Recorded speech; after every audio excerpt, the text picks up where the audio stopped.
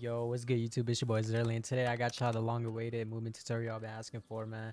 I know I haven't did one in like since like MW2 to be honest, but you know Rebirth is out.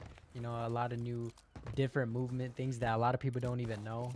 And I, I know I watched like some movement guys from other YouTubers and stuff, and I'm like, they don't even be explaining the stuff. So I'm gonna give y'all the tips and tricks, man. But first, let me explain the settings for y'all, and then we could get into the tricks. Let's get right into it. But before we get into it, man, like, comment, subscribe. And yeah, let's get into it. All right, yeah, I'm gonna show you my settings. I'm gonna show my in-game settings and my DS4 settings. You guys could just copy everything. I'm gonna just go over the important ones. So I do play default flipped. I play double claw. I do have a scuff controller, but I don't use the paddles. I just got it, you know, for like the grip and stuff.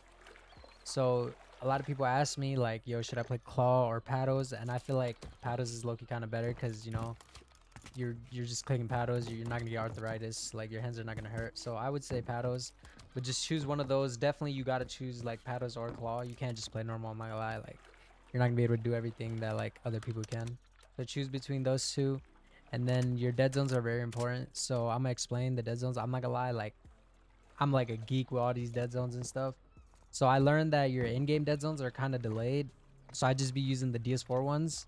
So I'm gonna explain it to y'all. So I use are these I put this to 0, 99, and then 2, and then 90. This is just to make it a little bit more loose. You know, you could just see what works for you. So if you have a lot of drift, put this up. You know, you don't have to use exactly what I use, but I use 2. This is where my drift is kind of like, you know, still loose, but it's not fully like fading away. So these are my settings right here. And then I play 2020 dynamic. So I like to put this all the way down your aim response curve type or slope scale. I put I like to put it down because it feels a little more loose. It feels like linear, but you still get the aim assist. And these are my custom zoom settings. But yeah, you can just copy everything else. Make sure to turn off FOV sensitivity scaling. And then make sure to have automatic tac sprint. And then recently I just changed the hybrid because I feel like dive is low-key kind of good again and it, the slides don't feel delayed. I can't do it in here, but you can like, you can dive and like pull out your parachute, which is kind of like OP in Warzone. So you just dive and then pull out your parachute. I can't really do it in here because you know you can't pull your parachute. But as soon as you dive, you just pull out your parachute and you get like a little boost. So definitely put that back on. And then just copy everything else. And then now I'm gonna show you guys my DS4 settings. So these are like dead zones and stuff. This is not cheating. I don't know why people say DS4 is cheating. Like, bro, it's just dead zones and like a YY macro. YY macro does nothing. It's just for looks. So these are my DS4 settings. So I like to put my anti-dead zone on my left stick to 0.10. This makes my left stick always moving, so I get rotational aim assist and I get more tac sprint. So make sure to do that. Instead of doing it in Warzone, do it in here. I'm telling you, it feels way better. And then these are my right stick settings. I like to put my anti-dead zone to 0.12 and 0.2 dead zone. So you don't have to use exactly what I use. Like you could use my anti-dead zone and then just mess with the dead zone until you like you find your perfect like drift level. And this is my like perfect. And I do play linear still. And you could just copy all these settings. And then this is my macro right here. These are my uh, delay times. Let's copy that. And yeah, that's really for my settings. And yeah, now let's get into the actual tricks.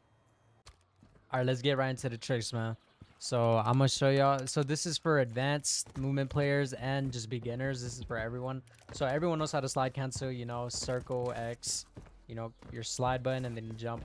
It's so easy now. Like in 2019, Warzone one, you had to do it like twice. All you do, slide, jump and you're slide canceling. So there is a little trick with slide canceling. See, I'm about to put y'all on with some sauce. Like a lot of people don't talk about is. So a lot of people just slide cancel normally. You know, you, you slide cancel, get up, shoot. You know, around the corner. It's pretty simple. But another thing you could do that I've been doing like a lot in my videos is aim in while you're sliding. And I'm not gonna lie, this like is just like way better to do because you get your first shots off and you're still sliding. So instead of slide canceling and then aiming in, aim in while you're sliding. So like that. It looks weird in here in multiplayer because it makes you like tac stance, but in Warzone it would just be like, it won't be as long. It would be like perfect. It'll look normal. So instead of slide canceling and then aiming in, aim in in your slide, and you'll get the first bullets off before the other person could even like. You know, it's just way faster. So I like to do this in like most like situations. Like literally, you could do it anywhere. Like you literally slide cancel, break their camera, and you're shooting them before they even shoot you. Like they're not gonna be able to kill you. I'm not gonna lie. Like this is overpowered. So just make sure to use it. You don't have to use it every single time, but if you're gonna like peek a corner and you know someone is there, like yeah, that's the best thing to do instead of just. So yeah, that's probably one of the first tricks that you should try to practice and learn. It's pretty easy. You just have to get the timing down. And yeah, let's get into the next trick. All right, the next trick is keeping your tac sprint. So a lot of people be like, "Yo, how do you have an unlimited tac sprint? You got speed hacks and this that." Like, it's honestly all about just like getting into the zone and like it's just rhythm. I feel like. See, I have like my tac sprint is trash. Like tac sprint in this game is trash, but you could make it work by so slide canceling. I'm not gonna lie, it kind of messes up your tac sprint a lot. Like it, it just like it slows your attack sprint a lot. So sometimes I don't even slide cancel. Like I just be running, and then when someone comes, then I slide cancel. Or like you could jump around, do a 360, so you still look like, you know, your clips still look good. But I just be running. You just get the rhythm down. I'm telling you, like when you get the rhythm down of just running around and slide canceling like the perfect times instead of just slide canceling like spamming it. Like you just get the rhythm down, your tac sprint will be way better. Another trick that I do is like if I lose it, right? I'll just stop and like snake and aim in. So let's say I, I like I'm running around and I lose it, like I'll just stop and I aim in and then I keep going and you'll get it back. So yeah, it's all about just rhythm. I'm telling you, like when you just play for a long time, you understand what I mean. It's all about rhythm. You just get in the zone of like running around and not doing unnecessary slide cancels. That's what I see a lot of people doing is they just slide cancel everywhere. And then they're like, oh, why don't I get no tac sprint? It's literally because like slide canceling in this game is not is not how it used to be. Like it literally messes up your tac sprint more. So instead of slide canceling everywhere, try to use your slide cancel at the perfect time. So every time you're about to like hit a corner. But when you're just running around normally, you know, like just try to keep your tac sprint, and it'll look better for clips so you look more smooth. And yeah, that's how you keep your tac sprint. That's that's really my like best tips and tricks for tac sprint. All right, the next move I'm gonna show y'all. This is one of like probably my most famous moves is the zigzag. You know, you see a lot of movement players doing it now. It's literally just it's pretty simple, but it just takes some time to get used to it, and it works in any situation. Like it's literally the best situation like thing you could do sometimes instead of like slide canceling around the corner. So what you do is it's basically a shoulder you shoulder and then you just peek it again. And you could like do combos with it you know what i'm saying? Like if you have two spots like this and he's like over like right here you could literally mess with him and then just fully peek it like that. So let's say it's right here. That's literally a zigzag like you shoulder it you go back in. So first you shoulder it go back in and then jump out. And you could combo it like you could shoulder go back in shoulder and then like you could do it multiple times and then it is just, just you can just combo with it. I like doing it a lot. I'm not gonna lie, it messes them up. It messes their like, like ammo. Like they be shooting, thinking I'm gonna peek again, and then I don't. And then I just zigzag. Like you could literally do it anywhere. Like you could just spam it right here, and they won't be able to kill you. Like, so just practice this. Yeah, this would definitely help out in Warzone. Like especially in Warzone, like in every situation, this will help out. Yeah, that's the zigzag. It's pretty easy, man. You just get in the game, play for a few hours, just learn it, practice. I'm telling you, practice is what really matters. Like, just watch other people, just watch YouTubers, watch my videos, and try to see what they're doing, and just try to imitate it. Yeah, let's get into the next move. Makes your clips look better. So, first thing I'm gonna show y'all is 360. So, you know, you could just do normal 360, uh, simple 360. Jumping off a staircase, always 360 to make it look cool. But what I like to do is I like to do a double 360. So you do a 360 one way and then you do it the other way. So like that, that's what it look like. And you can just look at my controller overlay, see what I'm doing.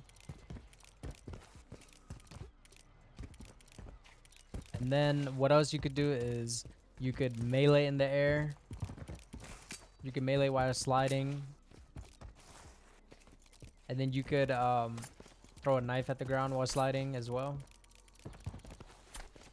These are all like pretty easy things to do. You just gotta like practice it a few times and you'll get it down. But always make sure to come back to the middle, all right? Like that's the main thing about all these things. You know, you could do all these extra things, but if you don't make it look nice, like you gotta make it look nice. So if you're slide canceling and looking at the ground, you gotta come back to the middle. Okay, don't don't don't do like don't do this. Don't do this. Always come back up to the middle. Head level. Where someone is probably gonna be. With every single extra thing you do. Telling you that that's gonna change your whole like everything. Like it's gonna make your clips look better and you're gonna be a better player when you do this. Because you're always gonna be ready. And yeah, that's really it for like extra YY TikTok slide cancel things. It's really it that you could do in this game. You know, it's not like Warzone 1 where you could really like, you know, do crazy things and still keep like still kill people. In this game, you know, you lose a lot of attack sprint. But yeah, that's you can still do the things. Just make sure your crosshair is good and yeah, you straight. Alright, yo, this is probably the last trick and it's just b hopping, jumping around corners. So b hopping is not how it used to be, like 2019. Like, you know, you can't double b hop anymore. It's like a little weak like, like what is it, bro? But it still works, you know what I'm saying? Like, instead of just peeking it like that, peek it like that. You know, still jump shot. Jump shotting is still good. Always be moving around. Like I'm telling you, don't don't peek corners like this. Don't walk around like this. Like it's always good to be like moving around, jumping, sliding. And yeah, b-hopping, man, it still works. It is just like the second b-hop is not like really effective. But your first jump is kind of still like pretty effective. Like you kind of go far. So yeah, I would say still jump shot around. Like if you're about to peek some and you know someone is there. Oh, you know someone is there. Just jump shot around instead of just peeking it normally. Like they still have to track you. So yeah, that that's that's really it, man. If y'all have any other questions, just comment down below. I, will be answering a lot of comments. And I'm gonna give y'all one more little like trick. It's not really with movement, but it's just with like like the game. It'll make everything better for you. Is your audio. So use soundbar in game, right? This might be like, oh, this is only for PC players. You can't do this on console. So basically all you do is you go here, you go to your settings, right? And then you right click on your settings, go to sounds, and then you go to your playback and then go to whatever you're like, you know, what you game with. This is mine right here. Properties, go to enhancements and put on loudness EQ settings and then leave it in the middle. You could go all the way to the left if you want it like more effectively, but it's kind of really loud when you do that. But basically what it does, it's, it lowers the higher sounds. So your gunshots, it lowers it and like airstrikes and stuff.